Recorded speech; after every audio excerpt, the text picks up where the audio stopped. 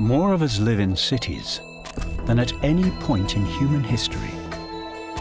But unprecedented urbanization doesn't need to equal polluted concrete urban sprawl. We have the knowledge to make cities cleaner, greener, healthier places to live for current and future generations. By 2050, 6 billion people will live in cities. Trees are a natural air conditioner, cooling the air by between 2 and 8 degrees. Urban forests filter harmful pollutants from the air and act as a carbon sink, helping mitigate climate change.